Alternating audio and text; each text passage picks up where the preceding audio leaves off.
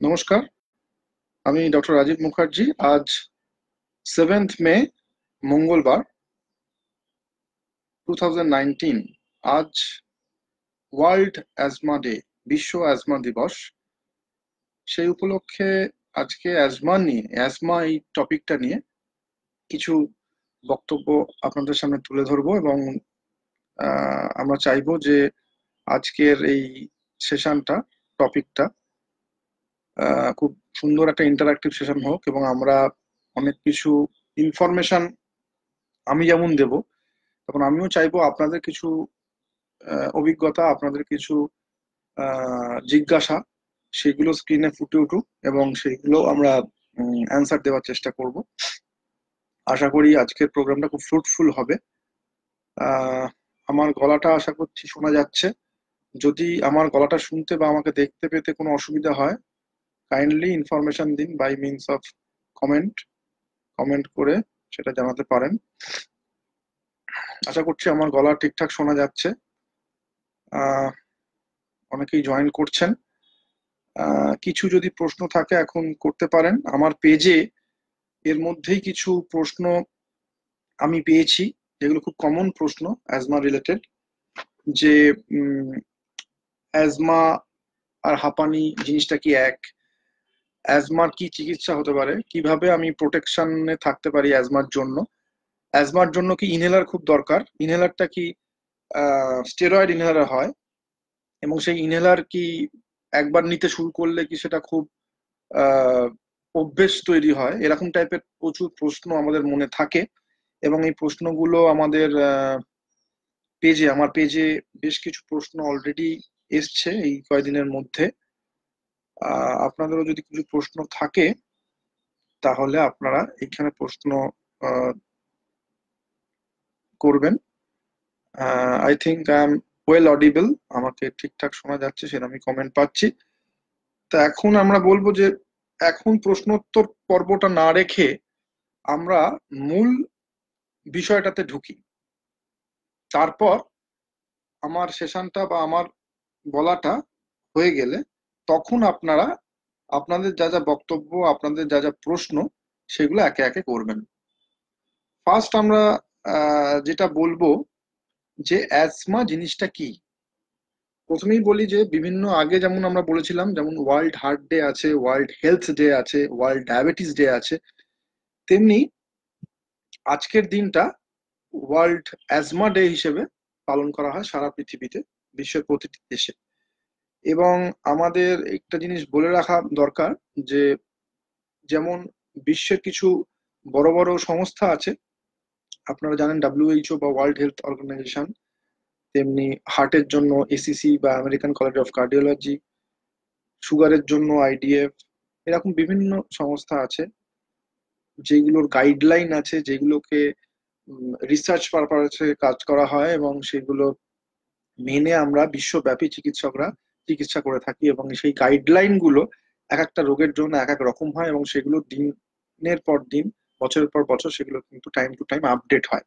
তেমনি অ্যাজমার জন্য জিনা বলে একটি গাইডলাইন জিনা সংস্থার গাইডলাইন আমরা সবসময় আপডেট করি নিজেদের এবং সেই জিনার গাইডলাইন অনুযায়ী কিন্তু আজকের দিনে অ্যাজমার চিকিৎসা হয় বেশিরভাগ দেশে এবং সেটাকেই আমরা মেনে চলি। ফার্স্ট বলা যে অ্যাজমা কি, জিনিসটা কি? অ্যাজমা জিনিসটা বাংলায় আমরা শুনেছি হাঁপানি বলে একটা জিনিস শুনছি, হাঁপানি। তার প্রথম প্রশ্ন আসবে আমাদের মনের মধ্যে যে অ্যাজমা আর হাঁপানি জিনিসটা কি এক? এটা ফার্স্ট প্রশ্ন আমাদের মধ্যে আসবে। হাঁপানি বলতে প্রথমে বলি যে বাংলায় যেটা হাঁপানি বলে, সে হাঁপানি বলতে আমরা যেটা হঠাৎ করে আমাদের চোখের সামনে ভেসে ওঠে যে হঠাৎ করে একজন মানুষ খুব হাঁপাচ্ছে, সবসময় হাঁপাচ্ছেন। এরকম একটা হাঁপাচ্ছেন। এটাকেই তো হাঁপানি বলি। আমরা আমরা হাঁপানি বলতে এটাই আমাদের চোখের সামনে ভেসে ওঠে। কিন্তু অ্যাজমা মানে ঠিক ওই অর্থে যে দৃশ্যটা আমাদের চোখের সামনে ভেসে ওঠে হাঁপানি বলতে, সেই জিনিসটা কিন্তু অ্যাজমা নয়। মানে মানে অ্যাজমার কিন্তু অনেকগুলো সিভিয়ারিটি অনুযায়ী অনেকগুলো পার্ট আছে। অনেকগুলো পার্ট আছে। Mild, moderate, severe. তার মানে অ্যাজমার প্রাথমিক পর্যায়ে অ্যাজমা এক রকমের। সেটা যখন বাড়তে থাকে, যখন সেটা বাড়তে থাকে, তখন সেটার সিভিয়ারিটি অনুযায়ী সেটা অনেকটা বেড়ে যায় অ্যাজমা অনেকটা বেড়ে যায়। এবং যখন সেই স্টেজটা অনেকটা অ্যাডভান্স স্টেজে চলে যায়, যখন ওই স্টেজটা অনেকটা অ্যাডভান্স স্টেজে চলে যায়, তখন সেটা কিন্তু অ্যাডভান্সড অ্যাজমা বা সিভিয়ার অ্যাজমা স্টেজে চলে যায়। অ্যাকুট এক্সাজারেশন বলি আমরা, সেই জায়গায় চলে যায়। অ্যাকুট অ্যাটাক অফ অ্যাজমা বলি। সেই সময় কিন্তু ওই যে জিনিসটা বলে হাঁপানির মতো, এই যে হাঁপানিটা, সেটা হতে থাকে।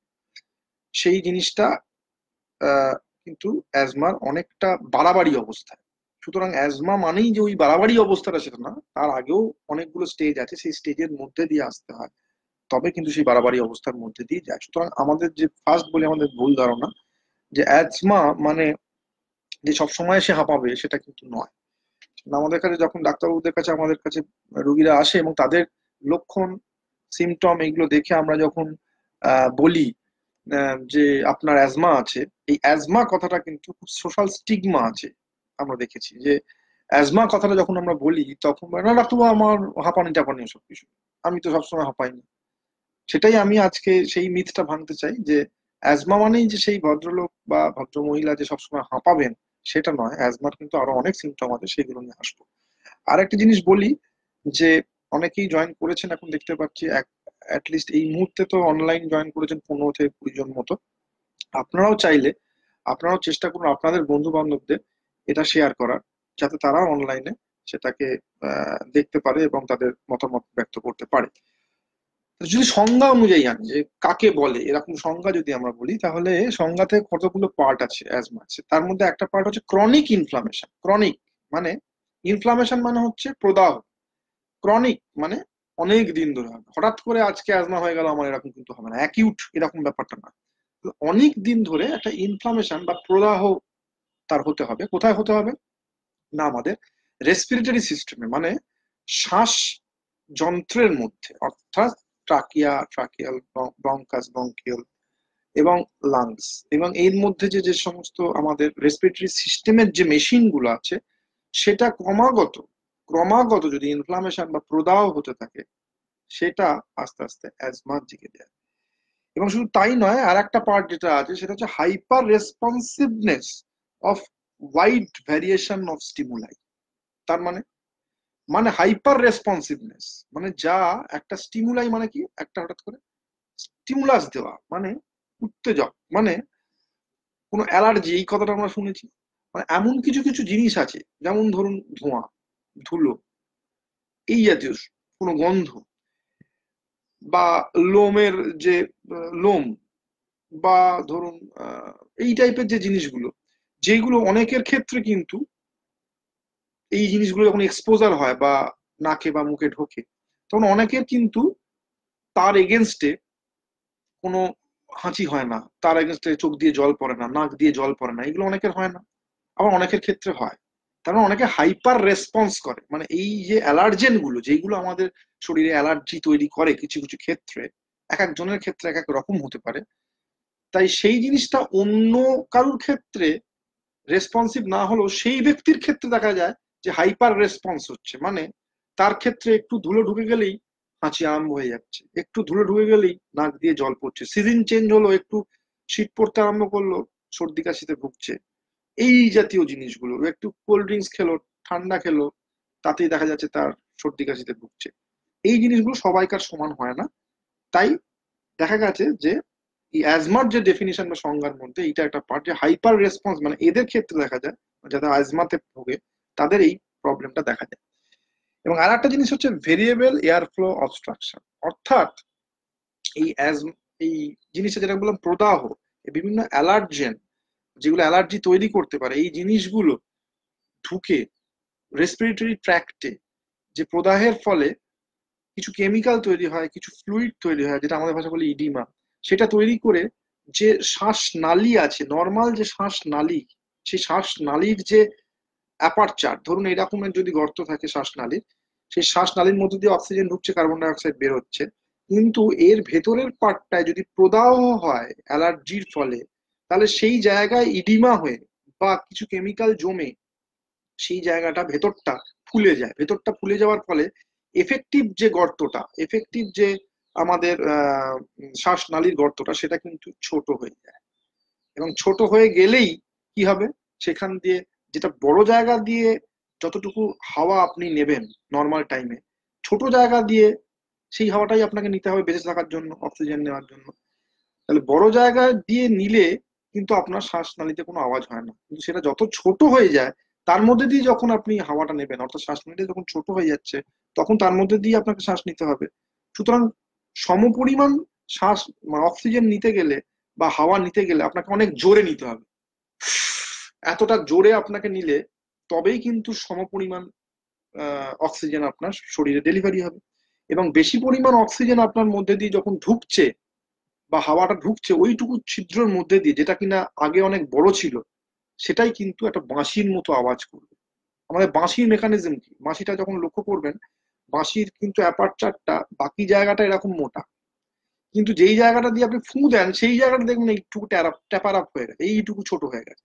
সেই জন্য ওখান দিয়ে ফু দেন বলেই আপনার কিন্তু আওয়াজটা হয়। কোনো কারণে যদি ওই ছোট জায়গাটা মানে বাঁশি যেখান দিয়ে ফু দিচ্ছে, সেই জায়গাটা যদি খারাপ হয়ে যায় বা আপনি কেটে দেন, কেটে দিয়ে যদি পুরোটাই অ্যাপারচার করে দেন মানে একটা নলের মতো পুরোটাই যদি একটা নল হয়ে যায়, ওই মুখটা যদি ছিদ্রটা ছোট না হয়, তাহলে দেখবেন আপনি যতই ফু দিন, ওই বাঁশির আওয়াজটা হবে না। এই অ্যাজমার ক্ষেত্রেও দেখবেন তাই। যারা অ্যাজমাতে ভোগেন, তাদের মাঝে মাঝেই দেখবেন সর্দি কাশি বেশি হলে মাঝে মাঝেই বা এমনিও যখন অ্যালার্জি প্রকোপ বাড়ে সিজন চেঞ্জ হয়, ঠান্ডা লাগে, তখনই কিন্তু একটা সাই সাই করে একটা আওয়াজ হয়। সেই সাই সাই আওয়াজটা বাঁশির মতো আওয়াজ, আমরা বলি বাঁশির মতো আওয়াজ, বা আমাদের ভাষা বলি হুইজিং হয় হুইজ সেইটা হয় ওই কারণেই, কারণ ওই সময় আমাদের শ্বাসনালীর যে শাখা পোশাকাগুলো সেইগুলো কিন্তু একদম সরু সরু সরু সরু হয়ে যায়। কেন না এতদিন ধরে প্রদাহ হচ্ছে, এত অ্যালার্জির এক্সপোজার হচ্ছে, সেই জন্য জায়গাগুলো একদম ছোট হয়ে গিয়ে আমাদের ওইটুকুর মধ্যে দিয়ে হাওয়াটা পাস করে বলে তখন আমাদের কি হয় না কি হয় ওই বাঁশির মতো আওয়াজ হয়। এবং শুধু তাই নয় অ্যাজমার ক্ষেত্রে একটা খুব ইম্পর্টেন্ট জিনিস যেটা, সেটা হচ্ছে এই ধরনের সেগমেন্টের পেশেন্টরা এই ধরনের মানুষেরা যখন দেখা যায় বাড়াবাড়ি হচ্ছে সিজন চেঞ্জের সময় হচ্ছে বা যেগুলো বললাম অ্যালার্জি যখন ঢুকছে তখন হচ্ছে, তখন বেশ বাড়াবাড়ি হচ্ছে, হাঁপিয়ে পড়ছে। একটু হাঁটতে গেলেও হাঁপিয়ে পড়তে পারে, বসে বসেও হাঁপাতে পারে, রাতে শুতে যাওয়ার সময় হাঁপাতে পারে। বিশেষ করে ভোর রাতের দিকে বেশি হাঁপ ধরা বা সাই সাই হওয়াটা বাড়তে পারে। এবং এরা দেখা যায় যখন আবার কিছুদিন পরেই হয়তো এদের ট্রিটমেন্ট হলো এবং ইনহেলার নিল বা অন্যান্য জিনিস নিল, সেই পার্টটা আমরা পরে আসছি। কিন্তু কিছুদিন পরে দেখা যাবে তারা কিন্তু একদম নর্মাল লোকের মতো আছে। অর্থাৎ হয়তো গরমকালে বা অন্য সময়। দেখা যাচ্ছে একদম নর্মাল লোকের মতো আছে এবং তাদের শ্বাসকষ্ট একটুও নেই। সাই সাই আওয়াজ একটুও নেই। ইভেন আমরাও যখন ডাক্তারবাবুরা স্টেথোস্কোপ জানেন যন্ত্রটা, সেটা যখন কানে দিয়ে আমরা বুকে দেখি, তখনও কিন্তু সাই সাই ভাব একটুও পাই না। কিন্তু তার মানে এই জিনিসটা অ্যাজমা জিনিসটা এমনই যে এক একটা সময় যখন অ্যালার্জি এক্সপোজার হবে বা এই সমস্ত এনভায়রনমেন্টাল চেঞ্জ হবে, তখন তার এই এক্সাজারবেশন বা এই সিমটমগুলো বেড়ে যাবে। আবার হয়তো হবে দু মাস পর। হতে পারে তিন মাস পর, কারোর হয় এক মাস পর, সেটা তার কোন স্টেজে আছে তার অনুযায়ী। কিন্তু এই দুটো সিমটমের মাঝখানে ওরা কিন্তু অলমোস্ট নর্মালি থাকে। ইন কন্ট্রারি যাদের ব্রঙ্কাইটিস বা সিওপিডি বলে একটা সমস্যা আছে, এটা আপনারা শুনেছেন, বহুদিন স্মোক করা বা ধূমপান করার ফলে বা অন্যান্য এক্সপোজারের জন্য ব্রঙ্কাইটিস যেটা আরও বেড়ে যায় সিওপিডি হয়, সেটা যাদের থাকে, তাদেরও কিন্তু শ্বাসকষ্ট হয়, হাঁপানিতে ভোগে। কিন্তু তারা কিন্তু সারা বছরই ভুগবে তারা সারা বছরই সর্দি, কাশি হাঁপ ধরা এসবগুলো লেগেই থাকবে তা তাদের সাথে এদের পার্থক্য মানে অ্যাজমার পার্থক্য এইটাই যে এরা যখন নর্মাল থাকবে, একদম সুপার নর্মাল মানে একদম মানুষ নর্মাল মানুষের মতো। কিন্তু যখন শ্বাসকষ্ট হবে, তখন তার আগে নিশ্চয়ই এটা কোনো ট্রিগারিং ফ্যাক্টর অর্থাৎ সেটা বেড়ে যাওয়ার জন্য কোনো একটা জিনিস কাজ করবে। এবার আমাদের গল্পটা আসবে যে আমাদের সিমটম কি আছে। মানে এটার জন্য আমাদের কি কি লক্ষণ আমার একটা মানুষ বুঝতে পারবে? একটা তো হাঁপিয়ে পড়া, এটা একটা লক্ষণ হতে পারে। একটা সাই সাই করে আওয়াজ হওয়া, এটা একটা হতে পারে। এই একটা হতে পারে কাফ, ক্রনিক কাফ, কাশি হচ্ছে।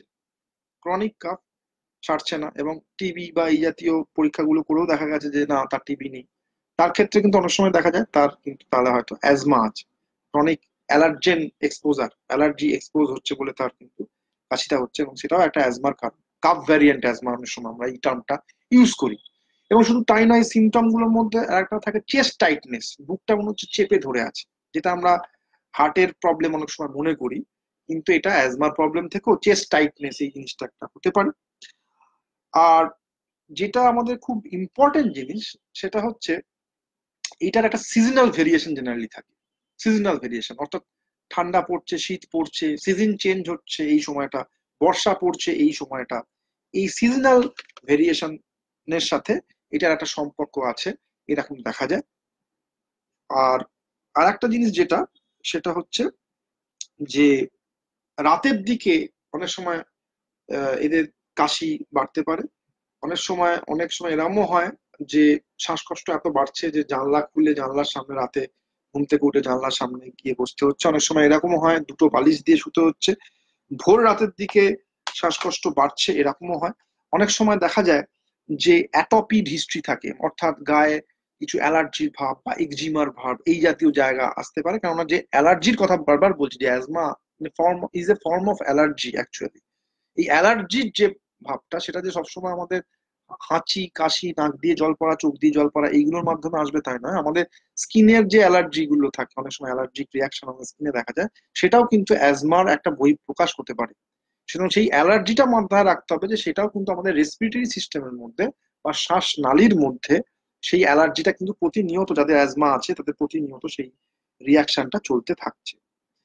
আর আর একটা জিনিস বলে রাখা দরকার যে পঞ্চাশ বছরের উপর যখন হয়ে গেল এবং তার শ্বাসকষ্ট হচ্ছে, হতে পারে সে ইনেলার নেয় বা সে অ্যাজমা ডায়াগনোসিস তার আছে, কিন্তু পঞ্চাশ বছর বয়স হয়ে গেলে তা আমাদের মাথায় রাখতে হবে যে শ্বাসকষ্টের আরও অনেক কারণ আছে, যেটা বয়সকালে হতে পারে। তার মধ্যে অন্যতম কারণ হচ্ছে হার্টের কারণ। সেটা আমাদের মাথায় রাখতে হবে যে সেটা ওনার আসছে কিনা। সেটা অবশ্য চিকিৎসকের দায়িত্ব এবং আপনারও ঠিকঠাক হিস্ট্রি দেওয়া বা ইতিহাস বা আপনার সিমটম কি কি হচ্ছে সেটা দেওয়া, সেটাও কিন্তু আপনার দায়িত্ব চিকিৎসকের কাছে। এবার প্রশ্ন হচ্ছে যে যে হঠাৎ করে অ্যাজমা যে বেড়ে যায় হঠাৎ করে ধরুন অ্যাজমা বা টান যেটাকে বলে, হঠাৎ করে বেড়ে যায়। সেটা কীরকম, কখন বাড়তে পারে? এগুলো দেখা যায় জেনারেলি মিনিট থেকে আওয়ার অর্থাৎ কিছু মিনিট থেকে কয়েক ঘণ্টার মধ্যে যার অ্যাজমা আছে, তার হঠাৎ করে অ্যাকিউট অ্যাটাক হলে সেটা কয়েক মিনিট থেকে কয়েক ঘণ্টার মধ্যে বেড়ে যেতে পারে। এবং কখন বাড়তে পারে? হঠাৎ করে খুব কোল্ড এক্সপোজার হঠাৎ করে ঠান্ডা হাওয়া। বাইকে করে আসছেন, সামনে হেলমেটের কাঁচ নামাননি, খুব ঠান্ডা হাওয়া ঢুকছে। মেয়ে এটা প্রেসিপিটেট করতে পারে অ্যাকিউট অ্যাটাক আর হঠাৎ করে কোল্ড ড্রিঙ্কস খেলেন, যার খেয়েও যার কোল্ড ড্রিঙ্কসে বেশি অ্যালার্জিক তার ক্ষেত্রে হতে পারে। খুব ধুলো, ধোঁয়া, এটা ঢুকলে হতে পারে। খুব একটা টক্সিক স্মেল যেটা, সেটাও কিন্তু অ্যাজমার অ্যাকিউট অ্যাটাক এগুলো হতে পারে। সুতরাং এইগুলো একটা ট্রিগারিং ফ্যাক্টর বা আগের থেকে একটা কারণ থাকতে পারে। আর যেটা হচ্ছে, আমরা দেখেছি যে বাচ্চাদের মধ্যে কিন্তু অ্যাজমার প্রভাব প্রচণ্ড পরিমাণে বেশি। বিশেষ করে এখন এনভায়রনমেন্টাল পলিউশনের জন্য তো একটা বটে প্লাস ফ্যামিলিয়ার একটা হিস্ট্রিও থাকে। বাচ্চাদের মধ্যেও কিন্তু অ্যাজমার প্রভাব প্রচুর পরিমাণে আসছে। আমেরিকাতেই সমীক্ষাতে দেখা গেছে টোয়েন্টি থেকে থার্টি পার্সেন্ট বাচ্চা, অর্থাৎ এক তৃতীয়াংশ মতো প্রায় বাচ্চা এই অ্যাজমার প্রবলেমে ভোগে। এবার কারণ হচ্ছে, এবার কারণটা যদি আমরা জানতে চাই যেটা কি কারণে হতে পারে অ্যাজমা কেন হয় এটা ডেফিনেট একটা জেনেটিক ফ্যাক্টর আছে। জেনেটিক ফ্যাক্টর মানে যার ক্ষেত্রে দেখা যাচ্ছে যে তার বাবা মার আছে বা যার ঠাকুমা দাদুর আছে, সেক্ষেত্রে কিন্তু অ্যাজমার জিন জেনেটিক একটা প্রভাব কিন্তু ফ্যামিলিয়ার হিস্ট্রিতে পাওয়া যায়। তাদের ক্ষেত্রে অ্যাটোপির হিস্ট্রি পাওয়া যায় অ্যালার্জির হিস্ট্রি পাওয়া যায়। যার ক্ষেত্রে বাবা, মামা হতে পারে যে অ্যালার্জিক রাইনাইটিস মানে নাক দিয়ে জল পড়া, বারবার অ্যালার্জিতে ভোগা, বারবার সর্দি কাশিতে ভোগা, বাবা বাবা অথবা মা ভোগেন, সেক্ষেত্রে কিন্তু বাচ্চারও হওয়ার চান্স খুব বেশি থাকে। ইভেন দেখা যায় নর্মাল ডেলিভারির তুলনায় যদি আমরা সিজারিয়ান ডেলিভারি করি, সেক্ষেত্রেও অ্যাজমার পার্টটা কিছুটা বেড়ে যায়। ইভেন শুধু তাই নয়, যদি মা স্মোকার হয়, তার ক্ষেত্রেও কিন্তু বাচ্চা যে জন্মগ্রহণ করছে, তার কিন্তু অ্যাজমা হওয়ার চান্স অনেক বেশি। মায়ের মায়ের যদি অ্যাজমা থাকে, সেটাও কিন্তু তার ক্ষেত্রেও কিন্তু ওই বাচ্চার অ্যাজমা হওয়ার চান্স বেশি। মানে এইগুলো এক একটা কিসে কিসে বেশি হতে পারে সেটা কিছুটা প্রমাণ। আর কিছু আছে এনভায়রনমেন্টাল ফ্যাক্টর মানে কিছু যেটা আছে হচ্ছে আমাদের পরিবেশগত প্রভাব। পরিবেশগত প্রভাব মানে বাচ্চাদের ক্ষেত্রে তো খুব কমন যে ভাইরাল ইনফেকশন আমরা বলি যে আরএসভি ভাইরাসের একটা ইনফেকশন ছোটবেলা অনেক সময় হয়, সর্দি কাশিতে ভোগে বাচ্চারা। আর্লি লাইফে এগুলো হয়। সেটা অ্যাজমা ক্রনিক্যালি ইনফেকশন থাকলে অ্যাজমার দিকে চলে যায়। রাইনো ভাইরাস বা এগুলো বলি। চাইল্ডহুড অ্যাজমা বলি আমরা। আর কি হয় যে, বাচ্চাদের যেটা খুব ইম্পর্টেন্ট যেটা মানে মা বাবারা অনেক সময় না বুঝে যে তাদের সামনে স্মোক করছেন বা রাস্তায় আপনি নিয়ে বেরোলেন পার্কে যাবে বলে পাশে তার আঙ্কেল দাঁড়িয়ে দাঁড়িয়ে স্মোক করছে। ওই যে প্যাসিভ স্মোকিং হচ্ছে ওই এক্সপোজারটা ওটা বাচ্চাদের পক্ষে ভীষণ ক্ষতিকর এবং এটা কিন্তু ওদের ক্ষেত্রে অ্যাজমা করার জন্য যথেষ্ট একটা এক্সপোজার এটা আমাদের মাথায় রাখতে হবে। তাছাড়া যেগুলো আমাদের হতে পারে যে যে পারফিউমস সুগন্ধি যেগুলো পারফিউমস আর ক্লিনার্স যেগুলো দিয়ে আমরা ওই কাপড় কাচি বা যেগুলো ঘর দোর পরিষ্কার করি, যে ক্লিনার্সগুলো বা ডিটারজেন্টস এইগুলো কিন্তু ভীষণ প্রেসিপিটেট করে অ্যালার্জি হিসেবে কাজ করে। এটা কিন্তু অ্যাজমার অন্যতম কারণ।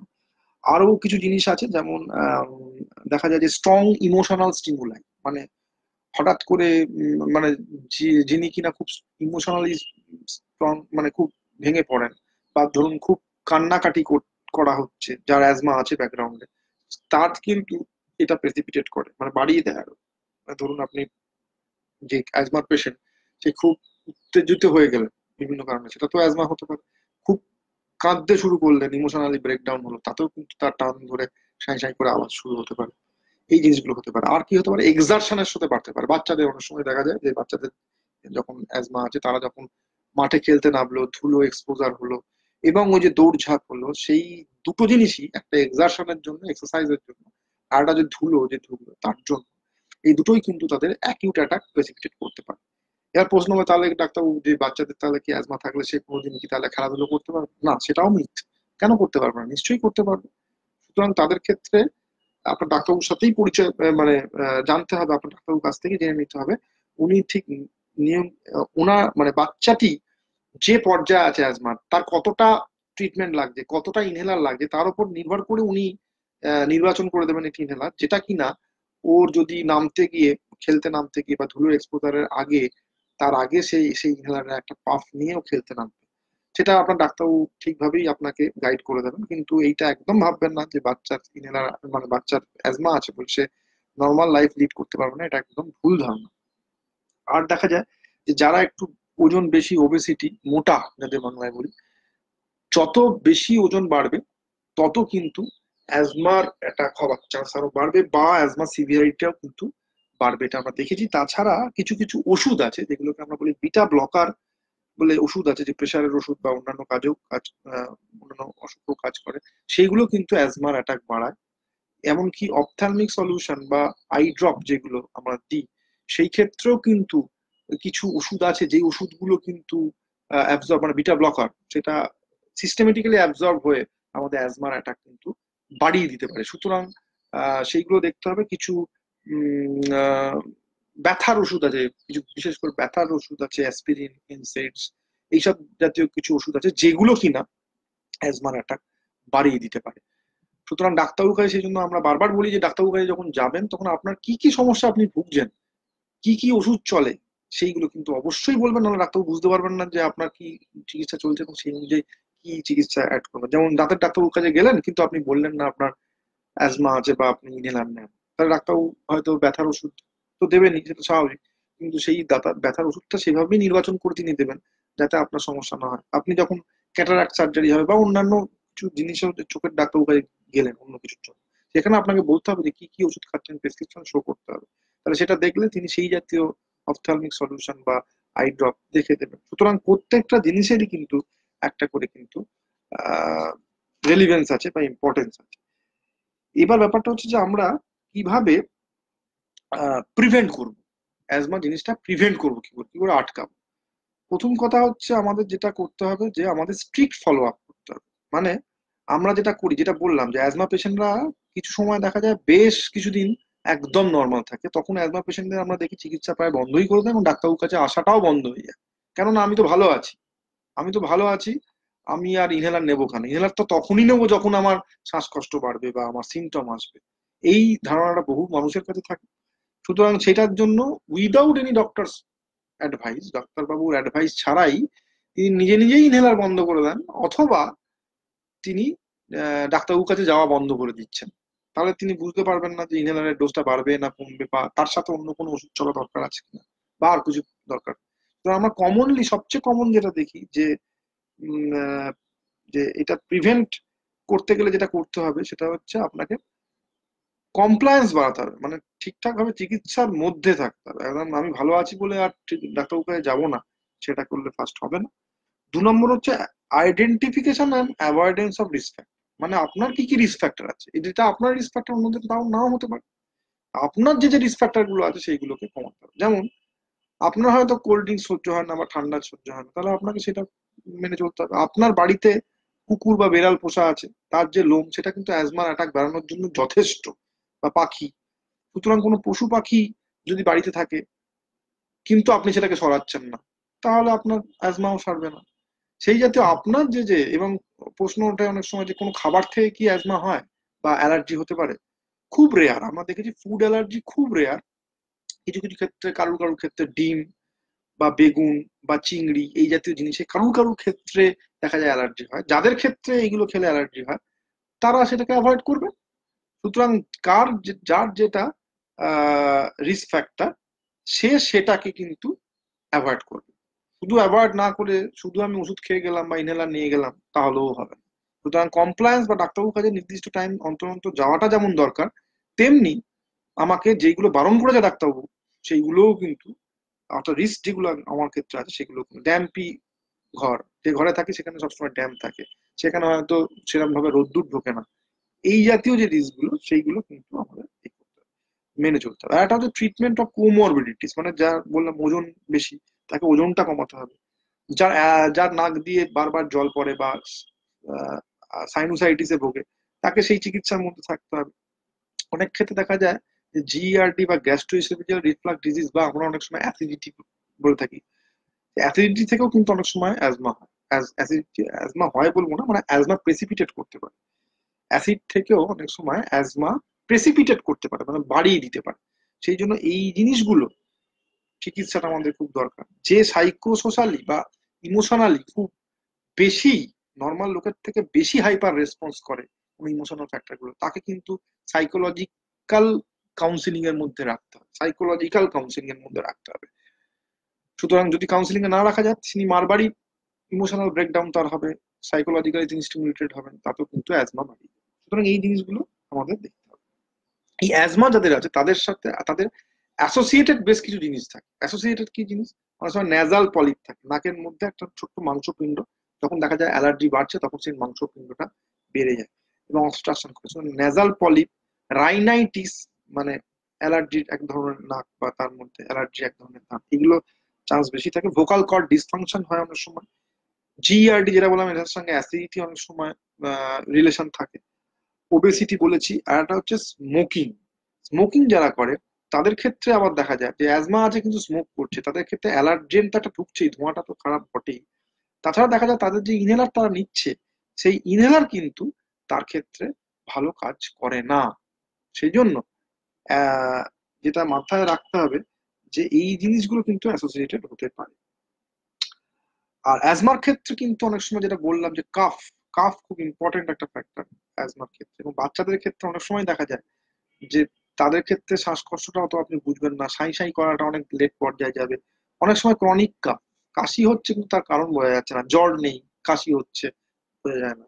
সুতরাং এই কাশি কিন্তু একটা খুব ইম্পর্টেন্ট জিনিস। আর একটা জিনিস যেটা বলি সেটা হচ্ছে কাশি হলেই আমাদের যেটা মাঝে মাঝে আমাদের অভ্যেস থাকে অনেকের, যে দোকান থেকে কিনে কিনে অ্যান্টিবায়োটিক্স খাওয়া বা দোকান থেকে কিনে কাপ সিরাপ খাওয়া, এটা দয়া করে করবেন এটা প্রচণ্ড সাইড এফেক্ট আছে। আর অ্যান্টিবায়োটিক খাওয়া যেটা আমরা অ্যাজমা পেশেন্টদের দেখে থাকি যখন তাদের ডায়াগনোসিস হয় না বা ডাক্তারবাবুদের কাছে যান না, তিনি নিজেও জানেন না তারা অ্যাজমা আছেন, তাদের ওই অভ্যেস হচ্ছে, কাশি হচ্ছে দোকান থেকে যাচ্ছি, একটু অ্যান্টিবায়োটিক কিনে খাচ্ছি, এই অভ্যেসটা কেন বন্ধ করা উচিত? কারণ অ্যান্টিবায়োটিক আমরা কখন খাব? যখন আমার শরীরের মধ্যে একটা ইনফেকশন আসবে। ইনফেকশনটাকে কাটানোর জন্যই তো অ্যান্টিবায়োটিক কিন্তু অ্যাজমার যে কাশিটা হয়, সেটা কিন্তু কোনো ইনফেকশনের জন্য জেনারেলি নয়। যদি জ্বর না আসে জেনারেলি সেটা ইনফেকশনের জন্য হয় না। এবং তার ক্ষেত্রে কিন্তু অ্যালার্জির জন্যই কিন্তু কাশিটা হচ্ছে। তো সেক্ষেত্রে অ্যান্টিবায়োটিকের কোনো রোল নেই। সেই জন্য যাদের অ্যাজমা আছে, বা যারা অ্যালার্জির প্রবলেমে ভুগছেন, তারা বারবার অ্যান্টিবায়োটিক খাওয়া, সারা বছরে দেখা যায় ছবার, সাতবার, আটবার অ্যান্টিবায়োটিক খাচ্ছেন। ইররেশনালি কোনো দরকার পড়ে না। তারা কিন্তু খেয়ে আদতে নিজেরই ক্ষতি করছেন, কারণ সেই অ্যান্টিবায়োটিক রেজিস্ট্যান্স একটা সময় পর গ্রো করে যায়। এবং আননেসারি আমি কেমিক্যাল আপনি কেমিক্যাল প্রোডাক্টস ওষুধ মানে তো কেমিক্যাল প্রোডাক্ট আননেসারি আপনি ওষুধ খাবেন কেন যেটা দরকার নেই? সেই জন্য আপনাকে ডাক্তারের কাছে আসতে হবে, নিজে নিজে আপনি সেই সেই ট্রিটমেন্ট করাটা খুব মুশকিল। তাহলে সেইটা নিয়ে আপনাকে বিশেষজ্ঞ হতে হবে। আর সেটার জন্য সবসময় বিশেষজ্ঞ ডাক্তারের কাছেই যেতে হবে, তার কোনো মানে নেই। আপনি সমস্যায় ভুগছেন, তার জন্য আপনাকে একদম ডিরেক্ট পালমোলজিস্টের কাছে চলে যাবেন বা চেস্ট ফিজিশিয়ানের কাছে চলে গেলেন সেটা দরকার নেই। আপনি দরকার হলে আপনার হোম ফিজিশিয়ান বাড়ির যে ডাক্তারবাবু আপনার দেখেন, তার কাছেই আপনি যান। তিনি এনাফ এই চিকিৎসার জন্য। তার যখন মনে হবে একটা সময় পর, বা তার যদি প্রথমেও মনে হয় যে না, আপনার দরকার পালমোলজিস্টের কাছে যাওয়া বা চেস্ট ফিজিশিয়ানের কাছে যাওয়া তিনি আপনাকে রেফার করে দেবেন। অবশ্যই আপনি যাবেন। সুতরাং ওই আমাদের বেশিরভাগ ক্ষেত্রে আমরা দুটো জিনিস আমরা দেখতে পাই। দুটো পোল এক ধরনের পোল হচ্ছে ডিরেক্ট সুপার স্পেশালিটি লোকের কাছে চলে যাওয়া। আর এক ধরনের পোল হচ্ছে কারোর কাছেই না যাওয়া ডিরেক্ট ওষুধের দোকান থেকে ওষুধ কিনে এই দুটোর মধ্যে সামঞ্জস্য আমাদের আনতে হবে আর এই যে কাশি, এই কাশি শুরু হলো মানেই যে অ্যাজমা সেটাও কিন্তু আমি বলছি না। কাশির কিন্তু অনেক কারণ থাকতে পারে। টিভি থেকেও কাশি হতে পারে। এসি ইনহিবিটার মানে একটা প্রেশারের এক ধরনের ওষুধ হয়, সেটাও কিন্তু কাশি হতে পারে। আপনি নিজে ধরুন কাশি হচ্ছে শুকনো কাশি হয়ে যাচ্ছে এবং সেই আপনি দোকান থেকে ওষুধ কিনে কিনে কাপ সিরাপ কিনে কিনে খাচ্ছেন অ্যান্টি অ্যালার্জি কিনে খাচ্ছেন, এরকম প্রচুর আমাদের হয়। এক মাস, দু মাস, তিন মাস কাশি কমছে না। হাজার একটা টেস্ট নিজেই হয়তো করে ফেলছেন এক্সরে টেক্সরে তারপরে ডাক্তারবাবুর কাছে আসছেন। ডাক্তারবাবুর কাছে যখন আসছেন, তখন দেখা গেল যে আপনার একটা প্রেশারের ওষুধ চলছে বা হার্টের ওষুধ চলছে এসি ইনহিবিটার বলি আমরা। সেইটা চলছে, সেটা অনেক সময় একশো দশ জনের যদি ওই ওষুধটা চলে, তার মধ্যে চার, পাঁচ জনের কাশি হতে পারে। সুতরাং ওই কাশি, ওই ওষুধটার জন্যই হয়তো হচ্ছে। সেই ওষুধটাকে যেই ডাক্তার সরিয়ে দিয়েছে, তার বদলে অন্য একটা ওষুধ দিলেন, দেখা গেল দু সপ্তাহ, তিন সপ্তাহের মধ্যে আপনার কাশি ভ্যানিস সুতরাং আপনার এই আগের দু, তিন মাস যে আপনি কাপ সিরাপ খেয়ে গেছেন অ্যান্টি অ্যালার্জি খেয়ে গেছেন ইনভেন মানে কোনো দরকারই ছিল না হয়তো আপনি কোনো অ্যান্টিবায়োটিকও খেয়েছেন। সুতরাং এইগুলো নিজে নিজে ডিসিশন নেবেন না। দু নম্বর হচ্ছে শুধু কাশি অ্যাজমার জন্য না বা অ্যালার্জির জন্য না, এটা কিন্তু আরও অনেক কারণ থেকেও হতে পারে। যেমন ইভেন অ্যাসিডিটি বা জিইআরডি থেকেও হতে পারে, যেটা আমরা বললাম আগে। ইভেন কনজেস্টিভ কার্ডিয়াক ফেলিওর হার্টের হার্টের সমস্যা থেকেও হার্ট ফেলিওরের সমস্যা থেকেও কিন্তু কাশি হতে পারে। সুতরাং আমাদের এরকম বেশ কিছু এবং হ্যাবিচুয়াল কাফ মানে অনেক সময় একটা হ্যাবিচুয়াল ফর্মে হয়ে যায়। মুদ্রা দোষ বাংলা যেটা বলে, সেটা থেকেও কাশি হতে পারে সাইকোজেনিক সেটাও বলি। তোমার কাশি বিভিন্ন জিনিস থেকেই হতে পারে। সুতরাং এটাকে গুরুত্ব না দিয়ে ডাক্তারবাবুর কাছে যাবেন না এরকম করবেন এটা যথেষ্টই গুরুত্বের বিষয়। এবার হচ্ছে অ্যাজমার জন্য আমরা কি কি ট্রিটমেন্ট করতে পারি? তার আগে আমরা ইনভেস্টিগেশন করতে পারি। কি কি আমরা ইনভেস্টিগেশন করতে পারি? একটা হচ্ছে যদি অ্যাজমা খুব বাড়াবাড়ি পর্যায়ে যায়, হাঁপানি পর্যায়ে যায়, শ্বাসকষ্ট বাড়ছে, সেখানে এবিজি বা আর্টেরিয়াল ব্লাড গ্যাস বলে একটা জিনিস করি, সেখানে করে আমরা দেখি যে আমাদের শরীরে অক্সিজেন স্যাচুরেশন কত অক্সিজেন কতটা কমে যাচ্ছে, এই জিনিসগুলো আমরা দেখতে পারি। কিছু ক্ষেত্রে অ্যালার্জি টেস্ট সেটা ইন্টারনার্মাল টেস্ট মানে চামড়ার মধ্যে টেস্ট করা যায় বা ব্লাডেও আইজি বলে একটা টেস্ট হয়, সেটা করেও আমাদের অনেক সময় দেখা যায়। আর এক্স রে অনেক সময় করা হয়, যদিও সেটা ম্যান্ডেটারি নয় যে সব অ্যাজমা পেশেন্টদেরই করতে হবে, এবং এক্স রেতে সবসময় অ্যাজমাতে কিছু ধরা না পড়াটাই স্বাভাবিক। সুতরাং এক্স রেতে সবসময় ধরা পড়ে না। অনেক সময় কারুর কারুর ক্ষেত্রে অ্যাসোসিয়েটেড কোনো ফ্যাক্টর আছে কিনা দেখার জন্য এইচ আর সিটি মানে সিটি স্ক্যান থোরাক্স সেটা করতে হতে পারে। আর একটা যেটা ফার্স্টে বলা উচিত, সেটা হচ্ছে পালমোনারি ফাংশন টেস্ট বা লাং ফাংশন টেস্ট সেটা একটা করা উচিত। এরকম করে একটা টেস্ট হয়, ফু দিয়ে, যে আপনার লাং ক্যাপাসিটি কতটা আছে। সেইটা দেখাটা খুব ইম্পর্টেন্ট সবসময় যে পিএফটি তো অ্যাজমা ধরা পড়বে তা নয়, কিন্তু এটা আমাদের ট্রিটমেন্টের জন্য খুব ইম্পর্টেন্ট যেমন ইসিজি e একটা হার্টের সমস্যা হলে বা হার্টের সমস্যা নিয়ে আপনি গেলে, যে আপনার বেসিক একটা জিনিস হচ্ছে ইসিজি e তেমনি আপনার এই অ্যাজমা বা এই জাতীয় সমস্যা নিয়ে হলে বেসিক টেস্ট হচ্ছে কিন্তু পিএফটি বা পালমোনারি ফাংশন টেস্ট সুতরাং এইগুলো কিন্তু খুব ইম্পর্টেন্ট জিনিস। এরপর যেটা, সেটা হচ্ছে ট্রিটমেন্টের জন্য অ্যাজমা অ্যাকশন প্ল্যান এটা খুব ইম্পর্টেন্ট যে অ্যাজমা অ্যাকশন প্ল্যান বলে সেটা হচ্ছে ফার্স্ট হচ্ছে পেশেন্ট এডুকেশন পেশেন্টকে বুঝতে হবে পেশেন্টকে জানাতে হবে। যেটা আজকেও আমরা করছি অ্যাওয়ারনেস প্রোগ্রাম সেটাও একটা পেশেন্ট এডুকেশন প্রোগ্রামিং যে তাকে জানাতে হবে যে অ্যাজমা জিনিসটা কি। এবং তার জন্য কি চিকিৎসা, কেন চিকিৎসা ইনহেলার হলে কেন ইনহেলার দু নম্বর হচ্ছে প্রিভেনশন এটা আমরা কি কি উপায় প্রিভেন্ট করতে পারি সেটা আমরা আলোচনা করেছি। আর এক্সপোজার টু অ্যালার্জেন বা ইরিট্যান্ট এটা যাতে না করি তার জন্য কি কি করব? এবং তার সাথে কোমরবিডিটি যেগুলো আছে মানে এর সাথে যেগুলো জড়িয়ে আছে, সেগুলোকে আমরা কি করে আটকাবো? এবার প্রশ্ন হচ্ছে যে এটাকে আমরা চিকিৎসা কি করব? চিকিৎসা প্রথম কথা হচ্ছে ডায়েটারি কোনো গোল আছে? ডায়েট প্রথম। প্রথম হচ্ছে ডায়েটের বিশেষ কোনো রোল নেই, কিন্তু যার ক্ষেত্রে কিছু কিছু ডায়েটের অ্যালার্জি থাকে, তারা সেই ডায়েটগুলো অ্যাভয়েড করবে। কারও কারও ক্ষেত্রে ডিমে, কারও কারও ক্ষেত্রে চিংড়িতে, কিন্তু কারও কারও ক্ষেত্রে বেগুনে অ্যালার্জি থাকতে পারে। যাদের যাদের ক্ষেত্রে প্রমাণিত হয়েছে বা দেখা যাচ্ছে এগুলো খেলে হয়, তাদের ক্ষেত্রে এটা তারা নেবেন না। দু নম্বর যেটা, সেটা হচ্ছে অ্যাক্টিভ লাইফস্টাইলের মধ্যে থাকতে হবে। অ্যাক্টিভিটি এটা আমরা হার্টের ক্ষেত্রেও বলেছি সুগারের ক্ষেত্রেও বলেছি প্রেশারের ক্ষেত্রেও বলেছি অ্যাজমার ক্ষেত্রেও বলেছি। সুতরাং এটা একটা ইউনিভার্সাল ট্রুথ যে অ্যাক্টিভ লাইফ যে যত লিড করবে, তার এক্সপোজার তত মানে তার প্রিভেনশন তত বেশি ভালো হবে এবং ট্রিটমেন্ট তত ভালো হবে। এবং আমরা বলব ফার্স্ট হচ্ছে যোগা প্রাণায়াম এগুলো খুব ভালো রোল আছে। এই যোগা প্রাণায়াম এটা ভালো একজন ট্রেনার বা ইনস্ট্রাক্টরের কাছ থেকে অ্যাজমার জন্য যে যোগা বা প্রাণায়াম হয়, সেগুলো অবশ্যই আপনি রেগুলার একটা নির্দিষ্ট সময়, দশ মিনিট, পনেরো মিনিট, কুড়ি মিনিট করুন। সাঁতারের একটা খুব ভালো রোল আছে। কিন্তু মানে সাঁতার করলে যেটা ওটা অ্যারোবিক এক্সারসাইজ এবং এটা সাঁতার করলে দেখা যায় যে অ্যাজমা খুব প্রোটেকশন পায় অনেকের ক্ষেত্রে এবং সেক্ষেত্রে যে বারবার সর্দি কাশিতে ভোগে বাচ্চাদের ক্ষেত্রে খুব ভালো কিন্তু সেটার ফল আমরা পাই। উল্টে আমরা অন্য জিনিসও দেখি মানে দেখতে হবে যে আপনি কোথায় সাঁতার কাটছেন। মানে যে আপনি সুইমিং পুলে কাটছেন বা যে পুকুরে কাটছেন, সেটা আদৌ জলটা হেলদি কিনা, সেটা কিন্তু আমাদের জানতে হবে, সেই জলটা হেলদি কিনা। বেশিরভাগ ক্ষেত্রে, বিশেষ করে মফস্বল, গ্রামাঞ্চল এইসব জায়গায় বেশিরভাগ ক্ষেত্রেই কিন্তু পুকুর বা সুইমিং পুল যেখানে আমরা সাঁতার কাটি বা সাঁতার কাটার যেটা জায়গা তৈরি করা আছে সেটা জলটা কিন্তু মেনটেন জেনারেল বেশিরভাগ ক্ষেত্রে মানে রেগুলারই উচিত সেই জলটা চেঞ্জ করা। তো সেক্ষেত্রে বেশিরভাগ ক্ষেত্রেই হয় না। তাতে কিন্তু আবার হিতে বিপরীত অনেকের ক্ষেত্রে হতে পারে। মানে যদি জল ঠিকঠাক করে চেঞ্জ না হয়, জলের মধ্যে যদি স্ট্যাগন্যান্সি রয়ে যায়, তাহলে সেক্ষেত্রে কিন্তু সেই জল নাকে ঢুকে বা কানে ঢুকে ওটাইটিস মিডিয়া বা recurrent chest infection recurrent sinusitis recurrent upper respiratory infection এগুলো কিন্তু বারবার হতে পারে। সুতরাং খারাপের থেকে ভালোর জিনিস মানে ভালোর থেকে খারাপটাও কিন্তু আমাদের অনেক সময় আমরা দেখেছি যে যদি সুইমিং পুল বা পুকুরের জল ঠিকঠাক করে মেনটেন না হয়। সুতরাং সেটা আপনাদের দেখে নিতে হবে। আর একটা হচ্ছে যেটা হচ্ছে আমরা বারবার বলি অ্যাজমা পেশেন্টদের যেটা করতে হয়, সেটা হচ্ছে নাক দিয়ে লম্বা শ্বাস নিলেন এবং মুখ দিয়ে ছাড়লেন জাস্ট লাইক দ্যাট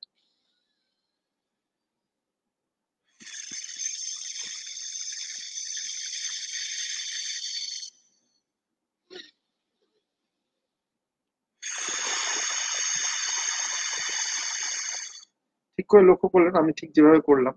যে এরকম করে মানে যেন একটা বাঁশিতে ফু দিচ্ছি জাস্ট মানে না, নিঃশ্বাস, বুক ভরে নিঃশ্বাস নিলাম। নিঃশ্বাস না অ্যাকচুয়ালি প্রশ্বাস নিলাম। আর নিঃশ্বাস ছাড়লাম আবার, যতটা পারব ততটা বুক ছেড়ে। এইটা একটা জিনিস, এটা যতটা পারবেন, যতক্ষণ পারবেন দশ পনেরো মিনিট করুন। আর একটা অনুলম বিলম যেটা বলি আমরা।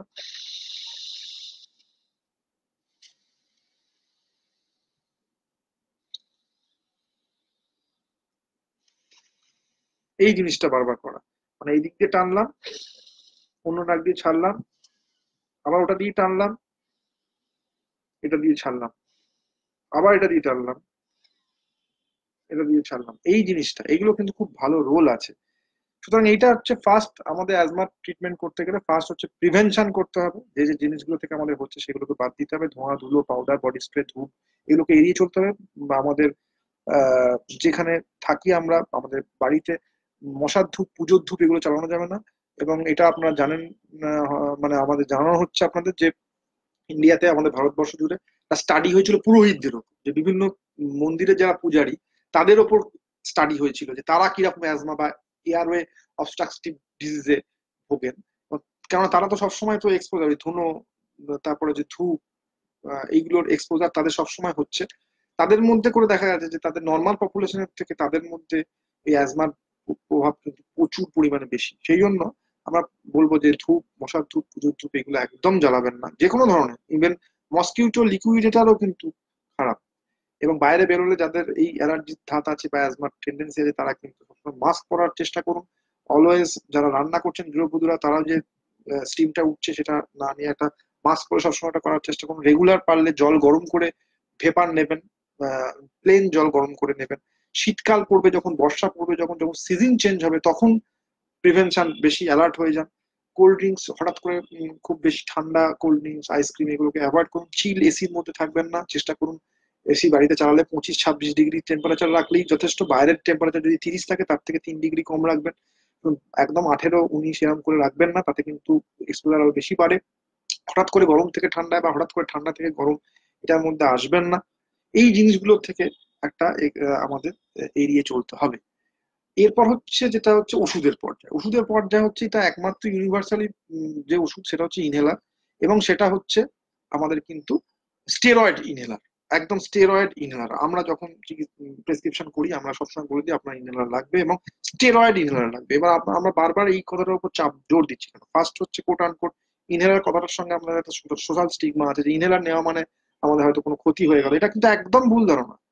কারণ আমরা যে মুখ দিয়ে ওষুধ নেব, সেটাও একটা স্টেরয়েড ওষুধই নেব, যাতে আমাদের যে জায়গাগুলো আগে ফার্স্ট আমরা আলোচনায় এসেছিলাম যখন যে প্রদাহ বা প্রদাহ বা যে ইনফ্লামেশন এটার জন্য আমাদের যে শ্বাসনালীর যে অ্যাপারচারটা কমে যায়, সেই অ্যাপারচারটাকে বাড়াতে হবে। মানে যে সরু সরু হয়ে যাচ্ছে শ্বাসনালীগুলো, সেইটাকে বাড়াতে হবে।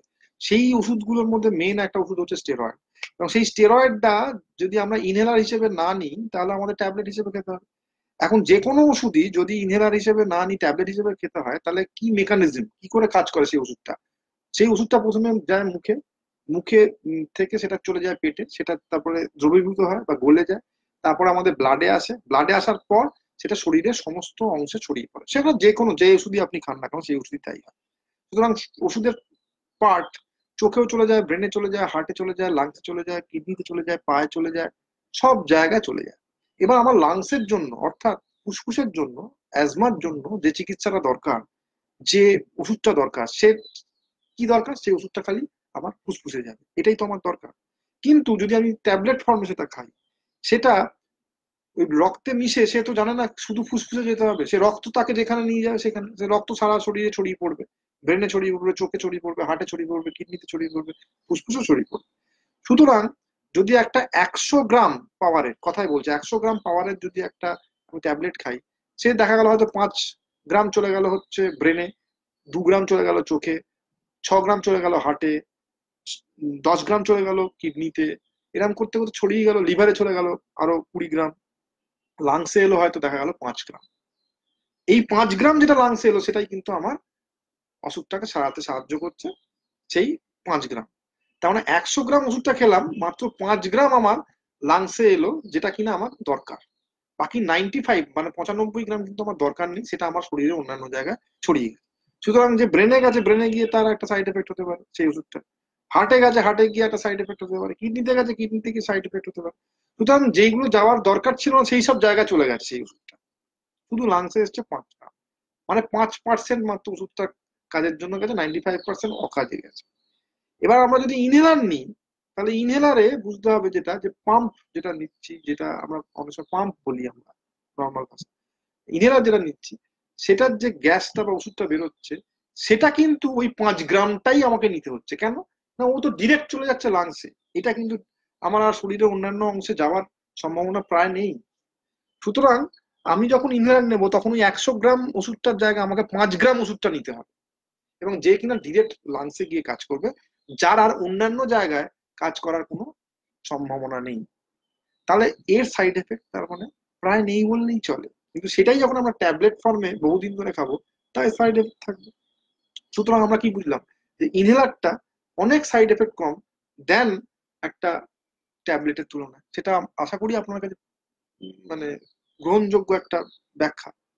এবং শুধু তাই নয়, বাচ্চাদের ক্ষেত্রেও কিন্তু মানে এক বছর, দু বছর, তিন বছর বাচ্চাদের ক্ষেত্রে যখন আমরা সাসপেক্ট করি তার চাইল্ডহুড অ্যাজমা আছে, তাদেরও কিন্তু ইনহেলার খুব এফেক্টিভ হয় এবং তখন থেকেই তার ইনহেলার নেওয়া উচিত। কারণ সেটাই একমাত্র চিকিৎসা তার, সেটা তার কোনো ক্ষতি নেই। বরং ট্যাবলেট, সিরাপ এসব যদি অ্যাজমার জন্য ট্রিটমেন্ট করা হয়, তাতে ক্ষতি হলেও হতে পারে। এটার কোনো ক্ষতি নেই, তার কোনো সাইড এফেক্ট হতে হতে পারে এটার কোনো সাইড এফেক্ট নেই। সুতরাং এটা নিতে হবে। এবং এর পরের প্রশ্ন আসছে স্টেরয়েড ইনহেলার হ্যাঁ স্টেরয়েড ইনহেলারটাই কিন্তু এর একমাত্র চিকিৎসা। স্টেরয়েড কথাটা। স্টেরয়েডের সঙ্গে আমাদের অনেক একটা ভয় জড়িয়ে আছে। যে আমরা অনেক সময় ভাবি যে স্টেরয়েড ইনহেলার নিলে আমাদের সেটা অনেক ক্ষতি হয়। কারণ স্টেরয়েড মানেই একটা আতঙ্ক আমাদের।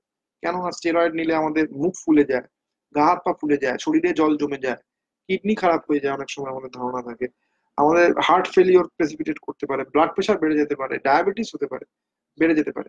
এরকম স্টেরয়েডের সত্যি অনেক সাইড এফেক্ট আছে। কিন্তু এইখানে যে ইনহেলারের যে স্টেরয়েডটা নেওয়া হচ্ছে এই ইনহেলারের স্টেরয়েডের কিন্তু কোনো সাইড এফেক্ট নেই, এই ধরনের কোনো সাইড এফেক্ট নেই। কারণ সে খুবই কম মাত্রা, যদি আপনারা ইনহেলারের আপনারা তো গুগল সার্চ করে থাকেন, দেখবেন যে ইনহেলারের কম্পোজিশন যেটা আছে, সেখানে মাইক্রোগ্রাম মানে মানে গ্রামেরও হাজার ভাগের এক ভাগ মিলিগ্রামের মিলিগ্রামের হাজার ভাগের এক ভাগ। এইটা, এইরকম এত কম পর্যায়ে ইনহেলার নেওয়া হয়, সেটা স্টেরয়েড নেওয়া হয় স্টেরয়েডটা সাইড এফেক্ট কোনো প্রডিউস করতে পারে না। এইটা আমরা সবসময় একটা বলে থাকি, তুলনা করে থাকি।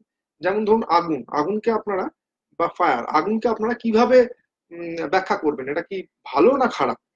কেউ কেউ বলবেন ভালো, কেউ কেউ বলবেন খারাপ, তাই তো?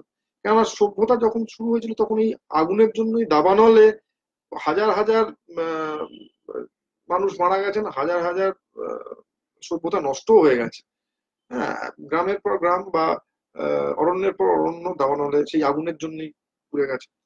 আবার সেই আগুনের আবিষ্কারই কিন্তু মানুষ সেই করেছিল, সেই পাথরে পাথরে ঠুকে এবং সেই আগুন তখন থেকে আজকের এই আগুন জায়গায় আমরা ইম্প্রুভ করে ফেলেছি? এমন একটা জায়গা আজকে চলে এসেছি আগুনে, যে আজকে সেই তাপ শক্তি থেকে আমরা বিভিন্ন ধরনের অ্যাডভান্স টেকনোলজি এনেছি। আজকে যে সমস্ত ইলেকট্রিসিটি চলছে বা এত কিছু আজকে আমরা কম্পিউটারের কথা বলছি, এটা তো ইলেকট্রিসিটি থেকেই তো আমরা কথা বলছি, বা ইলেকট্রিসিটি সেটা কি থেকে আসে? সেটা তো তাপশক্তি বা আগুন থেকেই সেই সেই মূল উৎস, সেই আগুন।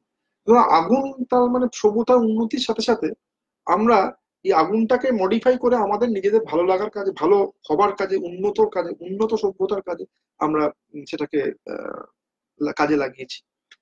তেমনি স্টেরয়েডটাও তাই। স্টেরয়েডও যত উন্নত হয়েছে সভ্যতা, যত আমাদের মেডিসিনের উন্নত হয়েছে, যত আমাদের চিকিৎসা স্বাস্থ্যের উন্নত হয়েছে, তত এই ওষুধগুলোরও সাইড এফেক্ট কমাতে কমাতে আজকে আমরা অনেক উন্নততর ইনহেলারের জায়গায় নিয়ে চলে এসেছি। যেটাই কিনা আমরা সাইড এফেক্ট প্রায় আমাদের এই মুহূর্তে খুব কম পাওয়া যায়। সুতরাং ইনহেলার কিন্তু খুব ইম্পর্টেন্ট এবার প্রশ্ন হচ্ছে ইনহেলার নিতে শুরু করলে কি সারা জীবন ইনহেলার নিতে হয়? এবার যে ব্যাপারটা হচ্ছে, আপনি যখন চশমা পরেন কাছে যান, ডাক্তারবাবু দেখলেন হ্যাঁ আপনার পাওয়ার আছে, আপনার চশমা লাগবে বলে প্রথম দিন আপনাকে চশমা দিল। তখন কিন্তু আপনার মাথায় কোনোদিন আসে না, ডাক্তারবাবু, এটা কি সারা জীবন আমার চোখে চশমা পড়তে হবে? কেন আসে না? কারণ আপনি যখন চশমা ছাড়া বই পড়ছেন বা চশমা ছাড়া রাস্তা দিয়ে হাঁটছেন, তখন তো আপনার অসুবিধা হচ্ছে। তেমন এটা আপনি সাবকনসিয়াস লেভেলে বুঝেই গেছেন যে চশমা ছাড়া আপনার চলবে না। তাই আপনার মনের মধ্যে প্রশ্নটাই আসে না যে আমার, আমি কি চশমা ছাড়া থাকতে পারব? কিন্তু ইনহেলার এই ক্ষেত্রে আমাদের মধ্যে প্রশ্ন আসে এই কারণে, কারণ ওই যে বললাম অ্যাজমার সমস্যাটা প্রথমেই আলোচনা করেছিলাম যে অ্যাজমা যাদের থাকে তাদের মধ্যখানে এমন একটা পিরিয়ড যায় যে সময় একদম নর্মাল থাকে। সে ওই সময় মনে করে যে, আমি তো একদম নর্মাল আছি, তাহলে কেন আমার ইনহেলার লাগে কিন্তু এটা মানতে হবে, যার অ্যাজমা আছে, তার কিন্তু সে সে ক্লিনিক্যালি বা সিমটোমেটিক্যালি নর্মাল থাকলেও তার ভেতরে তার কিন্তু ভেতরে রেসপিরেটরি সিস্টেমের ভেতরে এই অ্যালার্জিক রিয়াকশন কিন্তু সব সময় এটা চলতেই থাকছে ইনফ্লামেটরি রিয়াকশন চলতেই থাকছে। তাতে একটা ট্রিগার যেই পড়ল, একটা যেই অ্যালার্জি এলো, হট করে সেটা আউটবাস্ট করবে এবং সঙ্গে সঙ্গে তার শ্বাসকষ্ট শুরু হবে। এবং যে ক্রনিক্যালি একটা ট্রিটমেন্টের মধ্যে থাকবে ইনহেলারের মধ্যে ক্রনিক্যালি থাকবে, তার কিন্তু এই অ্যালার্জির এক্সপোজারটা এলেও তার হঠাৎ করে শ্বাসকষ্ট বেড়ে যাওয়া, এই প্রভাবটা কিন্তু থেকে সে অনেকটা বেনিফিট পাবে। হঠাৎ করে সর্দি কাশির ধার থেকে সে অনেকটা বেনিফিট পাবে। এটা আমাদের মাথায় রাখতে হবে। সুতরাং প্রশ্ন যদি হয় যে সারা জীবন কি চলবে? হ্যাঁ কারুর কারুর ক্ষেত্রে সারা জীবন চলতে পারে। তবে চাইল্ডহুড অ্যাজমার ক্ষেত্রে অনেক সময় দেখা যায় যে একটা নির্দিষ্ট বয়সের পর, বারো বছর চোদ্দ বছরের পর থেকে অনেক সময় ইনহেলারের রিকোয়ারমেন্ট লাগে না। বড়দের ক্ষেত্রেও কিছু কিছু ক্ষেত্রে আমাদের ইনহেলার ট্যাপার অফ করে বন্ধ করতে পারি অনেক সময়। সেটা কিন্তু নিজে নিজে করবেন না। তারও একটা মানে সিস্টেম আছে। ডাক্তারবাবু আপনাকে বলে দেবে যে ইনহেলার কীভাবে আপনাকে ইনহেলারটা কমানো যেতে পারে। সেটা একদিন হঠাৎ করে বন্ধ করে দিলাম এরকম না, যার যত ডোজে চলছে সেই ডোজটা আস্তে আস্তে কমানো যেতে পারে। এবং যে কমাতে কমাতে যদি দেখা যায় যে তার আবার বেড়ে যাচ্ছে এক্সপোজ তার বোঝা যাবে যে ওই ডোজটার নিচে তার কমানো যাবে না। আবার কারও কারোর ক্ষেত্রে দেখা যায় কমিয়ে দেওয়া যায়। সেটা নিজে ডিসিশন নেবেন না, সেটা ডাক্তারবাবুকে ডিসিশন নিতে দিন। অনেক ক্ষেত্রে এরকম ট্যাপার অফ করে কমানো যেতে পারে। আর একটা যেটা জিনিস, সেটা হচ্ছে যে কার কার এবার ইনহেলার যেটা নেওয়া হচ্ছে তার পদ্ধতিটা খুব ইম্পর্টেন্ট এটা যেটার মাধ্যমে নেওয়া যেতে পারে একটা রোটা ক্যাপ বা রোটা হেলার বলি আমরা, সেগুলোর মাধ্যমে আমার নেওয়া যেতে পারে, একটা ক্যাপসুল একটা ইনহেলার যেটা গ্যাস বেরোয়, সেটার মাধ্যমে নেওয়া যেতে পারে, আর নিউলাইজার এরকম মেশিন এটা আপনি কি পর্যায়ে আছে, আপনি কোনটা নিতে পারবেন, এবং চোঙা বা স্পেসার এটার মাধ্যমেও নেওয়া যায়। আপনি কীভাবে নিতে পারবেন, সেটা আপনার ডাক্তারও ঠিক করে দেবেন যে আপনার কি পর্যায়ে আছে, কতটা পর্যায়ে আছে, এবং আপনি কীভাবে ইনহেলারটা নেবেন। বা ইনহেলার ছাড়া রোটা কাপ নিলে আপনার সুবিধা কিনা, নাকি আপনি স্পেশালের মাধ্যমে নিলে সুবিধা কিনা, এইগুলো ডাক্তারবাবু আপনাকে ঠিক করে দেবে। কিন্তু যেটা ইম্পর্টেন্ট জিনিস, সেটা হচ্ছে ইনহেলার নেওয়ার পদ্ধতিটা। এর মধ্যে দেখেছি প্রায় অলমোস্ট সেভেন্টি পার্সেন্ট লোক, দশ জনের মধ্যে সাতজন লোক ভুল পদ্ধতিতে নেয়। এর অনেককে দেখেছি ইনহেলার নাক দিয়ে নাকি নেয়। এরকম মানে সে জানে না, সেই জন্য নাক দিয়ে নিচ্ছে। তার কাজও করছে না। ডাক্তার আমি ইনহেলার নিচ্ছি, কাজ করছে সেটা দায়িত্ব আমাদেরও। যে আমাদেরও দেখিয়ে দিতে হবে বা স্পেশালিস্ট যারা, এই ব্যাপারে যারা যারা স্পেশালিস্ট যে ইনহেলার পদ্ধতি দেখানোর জন্য বা টেকনিশিয়ান যারা, তাদের তাদের কাছ থেকে ভালো করে আপনাদের দেখে নিতে হবে যে ইনহেলার নেওয়ার পদ্ধতি দেখিয়েছে ঠিকভাবে যদি নিতে না পারেন, আমরা অনেক সময় দেখি যে ইনহেলার ঠিকভাবে নিচ্ছে না, বছরের পর বছর। সেই জন্য তার শ্বাসকষ্ট কমছে না, কাশি কমছে না অ্যালার্জি কমছে না। আমাদের কাছে আসে যখন, তখন আমরা যদি ঠিকভাবে ইনহেলার নেওয়ার পদ্ধতিটা জাস্ট দেখিয়ে দিলাম ওষুধটা একই রাখলাম। অনেক সময় বলে ডাক্তার আমরা তো ওষুধ, এইটাই, এই ইনহেলারটাই তো নিয়ে আসছিলাম এতদিন ধরে। কিন্তু দেখা যাচ্ছে সেই ইনহেলারটাই আবার আগামী তিন মাস নিলেন, কিন্তু পদ্ধতিটা ঠিকভাবে নিলেন। দেখা গেল সেটাতেই উনি ভালো আছেন। ইনহেলার ইনহেলারটা চেঞ্জ করার দরকারও হয়নি। সুতরাং পদ্ধতিটা খুব ইম্পর্টেন্ট কীভাবে নেবেন? আমাদের মেন উদ্দেশ্য কিন্তু অনেকেই থাকে মুখের মধ্যে নিয়ে চিপে দিয়ে করে মুখটা বুঝে রেখে দেওয়া। এইটা কিন্তু নয়, মুখের মধ্যে গ্যাস নিয়ে কোনো লাভ নেই। ওইটা, ওই গ্যাসটা আমাদের নিতে মানে ওষুধটা, ওটা নিতে হবে কিন্তু একদম লাংস পর্যন্ত।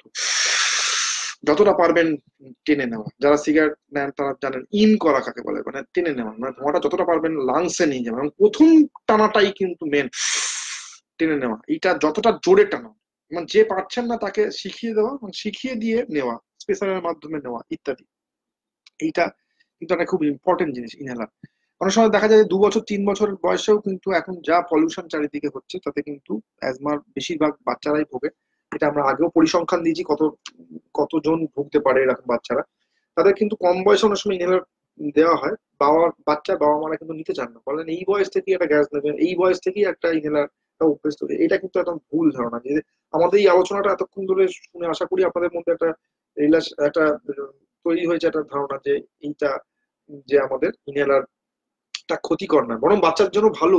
তখন থেকে ইনহেলার না নেয়, তাহলে কিন্তু পরবর্তীকালে খুব কম বয়স থেকে, কুড়ি পঁচিশ বছর বয়স থেকে এত বাড়াবাড়ি হবে ওনার, এবং সে বারবার হসপিটালাইজেশন হওয়ার সম্ভাবনা থাকবে ভবিষ্যতে। যদি প্রথম দিকে ইচ্ছে ইনহেলার নেয় বা এগুলো করে, তাহলে রেসপিরেটরি সিস্টেম বা লাংসের সিস্টেম কিন্তু অনেক ভালো থাকবে অ্যালার্জি থেকে অনেক ভালো থাকবে, সে কিন্তু অনেক ভালোভাবে জীবনযাপন করতে পারবে। এটা এরকম ভাবার কারণই নেই যে সে তার ক্ষতি হয়ে যাবে, এটা কিন্তু ভাবার কারণ নেই। এই জন্য শিশু বিশেষজ্ঞ বা চাইল্ড স্পেশালিস্টরা অনেক সময় কিন্তু ওই বাবা মাদের নেগেটিভ প্রতিক্রিয়া হবে, এটা ভেবে কিন্তু তারা ইনহেলার দেন না। না ডাক্তারবাবু ইনহেলার দেবেন না ইনহেলার দেবেন না আপনি। ট্যাবলেটই দিন সিরাপি দিন। সেই জন্য তারা, তাদের মুখ রক্ষা করতে গিয়ে কিন্তু অনেক সময় শিশু বিশেষজ্ঞ বা চাইল্ড স্পেশালিস্টরা দিয়ে দিচ্ছেন ট্যাবলেট বা অ্যান্টি অ্যালার্জি বা সেটা সাময়িকভাবে হয়তো অ্যান্টিবায়োটিক বা সাময়িকভাবে সেটা হয়তো কাজ করল। কিন্তু লং টার্ম যদি দেখতে হয়, সেটা কিন্তু বেনিফিশিয়াল নয়, বরং তার ক্ষতি। আর একটা হচ্ছে, সেটা হচ্ছে ভ্যাকসিনেশন ভ্যাকসিনেশন খুব ইম্পর্টেন্ট বড়দের ক্ষেত্রেও যাদের অ্যাজমা বা অ্যালার্জির প্রবলেমে বারবার ভুগছেন তাদের ক্ষেত্রে কিন্তু এভরি ইয়ার একটা করে ইনফ্লুয়েঞ্জা ভ্যাকসিন নেওয়া খুব ইম্পর্টেন্ট খুব ইম্পর্টেন্ট ইনফ্লুয়েঞ্জা ভ্যাকসিন নেওয়া। সেটা তাদের এই প্রকোপটা অ্যালার্জির প্রকোপ, সর্দি কাশির প্রভাব বা ইনফ্লুয়েঞ্জা প্রকোপটা তাদের ক্ষেত্রে কিন্তু অনেক কমিয়ে দেয়। কারও কারও ক্ষেত্রে নিউমোনিয়ার ভ্যাকসিনও নিতে হতে পারে। এবার যেটা ব্যাপার হচ্ছে, তার সঙ্গে আমাদের কিছু কিছু ওষুধ থাকে মন্টেলিকাস বা এই জাতীয় ওষুধ যারা অ্যালার্জিটাকে স্টেবিলাইজ করতে সাহায্য করে, সেগুলো আমরা দিই। অনেক অ্যাডভান্সড ইনহেলার বেরিয়ে গেছে, সেগুলো আমরা দিই। এইসব জিনিসগুলো অনেক কিছু জিনিস আমাদের অ্যাডভান্স বেরিয়ে গেছে।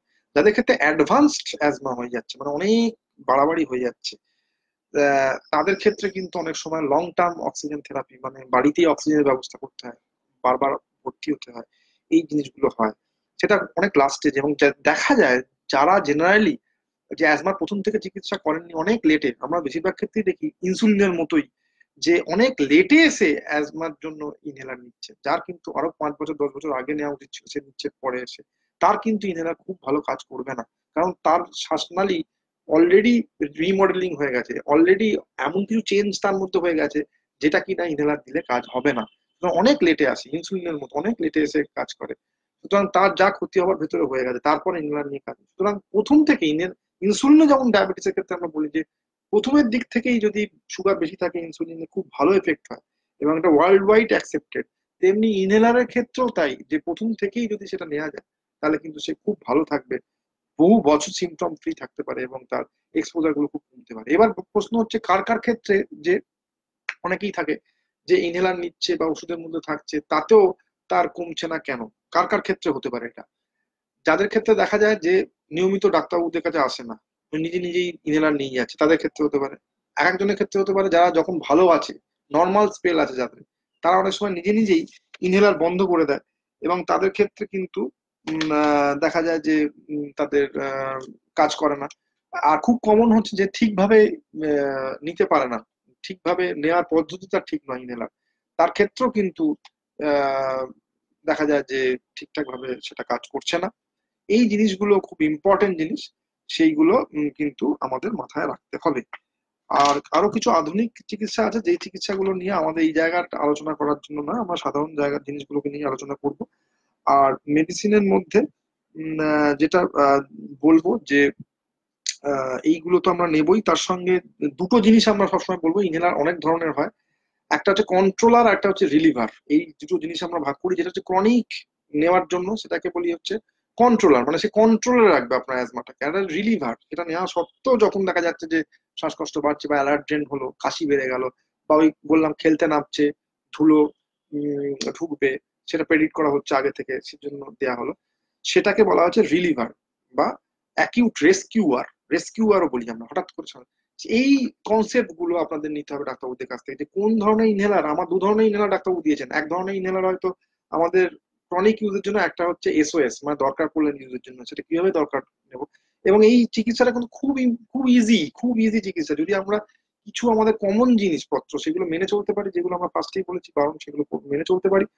আর যদি আমরা এই ইনহেলার বা এই সমস্ত ওষুধপত্র নিয়মিত নিতে পারি, ডাক্তারবাবুদের কাছে টাইম টু টাইম যেতে পারি, এবং আমরা যদি ভ্যাকসিন ইত্যাদি এইসবগুলো নিতে পারি, তাহলে আমরা কিন্তু খুব ভালোভাবে বহু দিন সিমটম ফ্রি অবস্থায় বা লেস সিমটম অবস্থায় আমরা কিন্তু আমরা জীবন কাটাতে পারব। আশা করি এইটা থেকে আমরা অনেক ইনফরমেশন পেলেন। এবার আমি দেখে নেব যে কি কি আমাদের কি কি আমাদের প্রশ্ন এসছে, সেইগুলো যদি আমরা একটু দেখে নিতে পারি একটা হলো যেগুলো আমরা, একটা হচ্ছে, একটু করে ওয়াক করলে, দেবযানী করেছে প্রশ্নটা, একটু করে ওয়াক করলে যদি কেউ হাঁপিয়ে যায়, তাহলে ব্রেথ নিতে কষ্ট হয়, সেটা কি অ্যাজমা এটা কি হেরিটারি হয়? এটা কি ইনফেকশাস ডিজিজ এই সবগুলোই আমি আলোচনা করেছি দেবযানী, সবগুলোই। একটা খালি বলব যে ইনফেকশাস কিনা? না, এটা কোনো ইনফেকশাস না এটা কোনো কিন্তু সংক্রামক ব্যাধি নয়। যদি না সে ইনফেকশন হয়ে যায় অ্যাজমার পর অ্যাজমা পেশেন্ট ইনফেকশন হওয়ার চান্স অনেক সময় বেশি থাকে।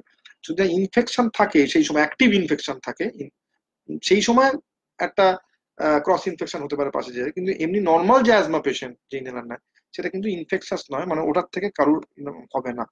সুকন্যা প্রশ্ন করেছে যে, আমি কিছু কমন প্রশ্ন করছি যা অনেক সময় মনে আসে, আপনার সেগুলো মেনশন করিতে খুব ইম্পর্টেন্ট হব। কি কি? অ্যাজমা হলেই জীবন শেষ। খুব ভালো, সুকন্যা খুব ভালো কাজ করে সিপ্লাতে আছে। ভীষণ ভালো কাজ করে এই অ্যাজমা বা এইসব জিনিস নিয়ে। থ্যাংক ইউ সুকন্যা এটাকে দেখার জন্য প্রথমে। যে প্রশ্ন করেছে যে অ্যাজমা হলেই জীবন শেষ, এটা একদম ভুল ধারণা, একদম। যেমন ডায়াবেটিস হলে লোকে ভাবে যে জীবন শেষ। এইটা একদম ভুল ধারণা। অ্যাজমা হলে জীবন শেষ একদম না। আমি যে যেগুলো বললাম লাইফস্টাইল ঠিকঠাক করে সে মেনে চলে, যে ঠিকঠাক চিকিৎসার মধ্যে থাকে, তাহলে কিন্তু তার অ্যাজমা কিন্তু কন্ট্রোলে থাকবে। সুতরাং লাইফ শেষ না নর্মাল লাইফ আপনি নর্মাল লোকের মতো থাকবেন কারোর পাশের বাড়ির লোকের কথা শুনবেন না। আপনি নিজের মতো থাকুন। এটার জন্য খুব সময় ব্যয় করতে হবে না। খুব কম টাইম ব্যয় করতে হবে নিজের চিকিৎসার জন্য। এবং আপনি ভালো থাকবেন, এটার জন্য আপনার ডিপ্রেশনে যাওয়ার কারণ নেই। বরং ডিপ্রেশনে গেলে অ্যাজমা বাড়তে পারে। আমার শ্বাসকষ্ট হয় না, আমার অ্যাজমা নেই। এটা ওই যেটা সুকন্যা আমরা আলোচনা করেছি যে আমার তো শ্বাসকষ্ট নেই, সুতরাং আমি ইনহেলার নেব না। এই অ্যাজমা কথাটা ইউজ করতে যেন কোথাও একটা বাধা। অ্যাজমা সোসাইটির কাছে সমাজের কাছে একটা কোথাও একটা বাধা আছে যে অ্যাজমা কথাটা ইউজ করতে। এইটা কিন্তু আমাদের কাটাতেই হবে কাটাতেই হবে। আমরা বড় বড় করে অনেক সময় লিখে দিই অ্যাজমা যে অত ভয় পাওয়ার কিছু নেই। এটা একটা টার্ম টার্ম সুতরাং আমার শ্বাসকষ্ট নেই মানে আমার অ্যাজমা নেই নয়, আমার কিন্তু কাশি বা এই যে জিনিসগুলো আমরা বললাম অ্যালার্জি এইগুলো কিন্তু অ্যাজমা শ্বাসকষ্ট অনেক সময় লেটস দেখে ধরা পড়ে। সব কাশি কি অ্যাজমা এটাও এগুলো সবই আলোচনা করেছি সুকন্যা, যে না, সব কাশি আসেন না। কাশির জন্য কি কি জিনিস থেকে কাশি হতে পারে সেগুলো আমরা আগে আলোচনা করলাম। কিছু ওষুধ থেকে, চোখের ড্রপ থেকেও ইভেন ইভেন হার্টের কিছু কন্ডিশন থেকে এরকম বিভিন্ন জায়গা থেকে টিভি থেকে, এইসব জায়গা থেকেও কাশি হতে পারে। সারা জীবন কি এর জন্য ওষুধ ইনহেলার নিতে হবে? এটা আমরা ডিটেল আলোচনা করেছি, কি করতে পারে, সেরে গেলেও কি তাতে মেডিসিন নিতে প্রথম কথা, সেরে যাওয়ার ব্যাপার নেই এটাও ডায়াবেটিসের মতো প্রেশারের মতো, সেরে যাওয়ার ব্যাপার নেই, আপনি অ্যালার্জি প্রবণ, আপনি অ্যাজমা প্রবণ, আপনার এই প্রসেসটা বডির মধ্যে চলতে থাকবে আপনার। সুতরাং সেরে যাওয়ার মতো ব্যাপার নেই, এটা কন্ট্রোলে রাখতে হবে। অন্যান্য সুগারটা যেমন কন্ট্রোলে থাকতে হবে সুগারের জন্য, তেমনি এটাও কিন্তু কন্ট্রোলে থাকতে হবে। সুতরাং এইটা সেরে গেলেও মেডিসিন নিতে হবে এই প্রশ্নটা নয়। হ্যাঁ তবে কিছু কিছু ক্ষেত্রে যেমন চাইল্ডহুড অ্যাজমার ক্ষেত্রে আমরা বললাম যে, এইটা ট্যাপার আপ করে আমরা বন্ধ করে দিতে পারি। সেটা আপনার ডাক্তারবাবু ডিসিশন নেবে, আপনি নিজে ডিসিশন নেবেন না। প্রশ্ন গলার কাছে সর্দি জড়িয়ে থাকে মনে হয়, সেটা কি? এটা অনেক সময় অ্যালার্জি থেকে খুব কমন মনে হয় খুসখুস করছে গলার কাছে বা কিছু আটকে আছে।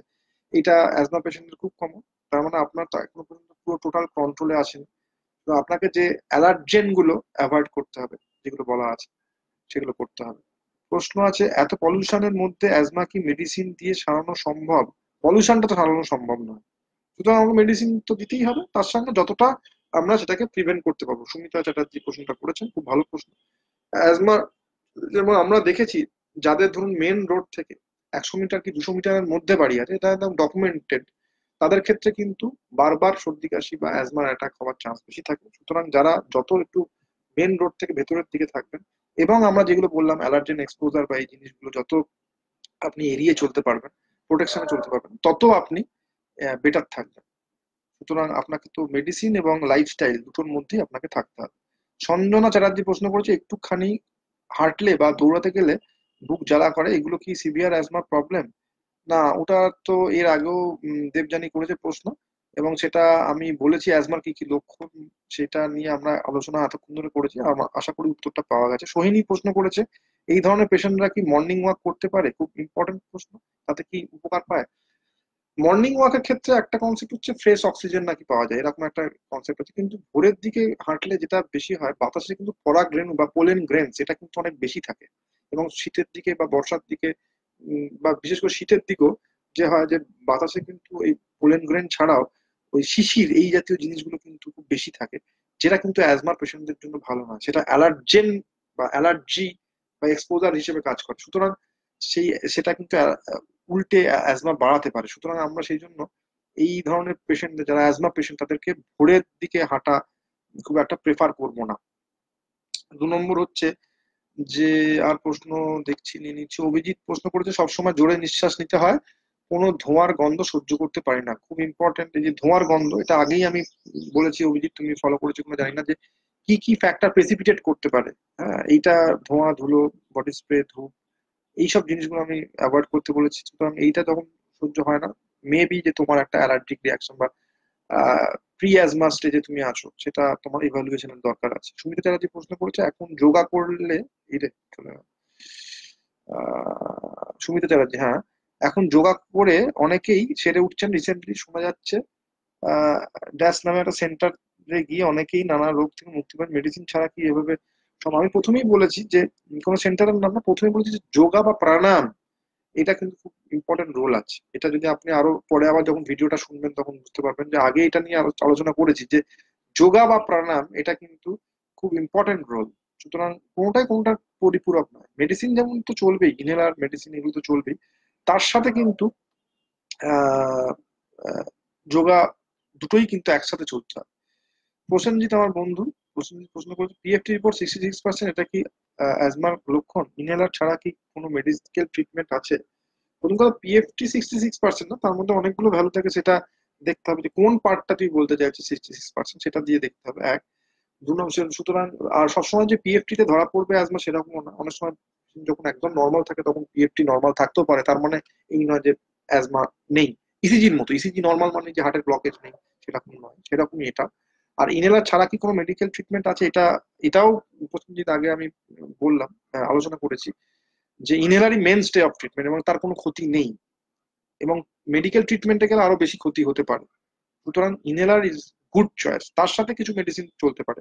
কিন্তু inhaler is one and only good choice Prasenjit ninety percent টাইমে সর্দি থাকে, এটাও কি অ্যাজমার লক্ষণ? নাইনটি পার্সেন্ট টাইম সর্দি থাকে মানে সে সর্দি কাশিতে বারবার ভুগছে।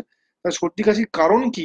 সেটা দেখতে হবে। অন্য কোনো কারণ থেকেও হতে পারে। অনেক সময় সবসময় যে অ্যাজমার জন্যই হচ্ছে সেটা না, অন্য কারণ থেকেও হতে পারে। সুতরাং সেটা একটা ইভ্যালুয়েশন দরকার। সেটা আজকের এই এক ঘণ্টার প্রোগ্রামের মধ্যে আমি শুনে একটা কোড দেখে বলে দিতে পারব সেটা নয়। সুতরাং যে এটা ভুগছে, তাকেই ডাক্তারবাবু ফ্যামিলি ফিজিশিয়ানকে বারবার ঠিকঠাক ভাবে বলতে হবে হিস্ট্রি দিতে হবে, তিনি ইভ্যালুয়েট করবেন এবং ঠিক মতো চিকিৎসা করবেন। এরপরের প্রশ্ন, সুমিতা চ্যাটার্জি খুব ভালো লাগল, ইনলা, অনেক কিছু জানতে পারলাম। প্রশ্ন দেখতে চাই আমি। প্রশ্ন, অনিদীপ ঘোষ প্রশ্ন করেছেন, একটা খুসখুসে কাশি মাঝে মধ্যেই হয়, এটা কি অ্যাজমার লক্ষণ গুড কোয়েশ্চেন এই খুসখুসে কাশি বারবার হচ্ছে মানে একটা অ্যালার্জির ধাতে হয়তো আপনি ভুগছেন, যদিও খুসখুসে কাশি কাশির কিন্তু একটা নিয়ে আমি একটু আগে বলেছি, এটা পারলে আবার রিবাউন্ড করবেন, বারবার একই জিনিস রিপিট হয়ে যাবে না হলে। যে কাশির কিন্তু আরও অনেক কারণ হতে পারে। কিছু প্রেশারের ওষুধ থেকেও কিন্তু কাশি হতে পারে। কাশির কারণটা দেখতে হবে। যদি অন্যান্য কারণ দেখা যায় নেই, তাহলে হতে পারে আপনার অ্যাজমার একটা, এটা একটা লক্ষণ হতে পারে। কিন্তু কাশি কিন্তু অন্যান্য কারণও হতে পারে, সেটা খুঁজে দেখা দরকার যে অন্য কারণও আছে কিনা। এই মুহূর্তে দেখা যাচ্ছে আর কোনো প্রশ্ন নেই। আমরা প্রায় এক ঘণ্টা, বলতে বলতে এক ঘণ্টা অতিক্রান্ত করে ফেললাম। এই অ্যাজমা নিয়ে কথা বলতে বলতে। আশা করছি এই জাতীয় প্রোগ্রাম আমরা আবার করব, আবার নতুন নতুন টপিকে যাব। আমার পেজটা ফলো করুন এবং আমার, আপনাদের যা যা আরও জিজ্ঞাসা অ্যাজমা রিলেটেড শুধু বলছি না, আরও অন্যান্য টপিক যেগুলো নর্মাল হেলথ রিলেটেড টপিক সেই প্রশ্নগুলো বা আপনার টপিকগুলো আপনারা পোস্ট করুন। চেষ্টা করব আমার দিক দিয়ে যতটুকু করে প্রেজেন্ট করা যায়, সেইটা এবং যাতে সেটা সোসাইটির উন্নতি হয়, লাভ হয়, সেটা চেষ্টা করব। সুতরাং আপনাদের মধ্যে যে যে টপিকগুলো আরও আসছে, সেগুলো অবশ্যই পেজে পোস্ট করতে থাকুন। আশা করি আজকে প্রোগ্রামে কিছুটা হলেও উপকার পেয়েছেন। এরকম প্রোগ্রাম আমরা আবার করব। ধন্যবাদ।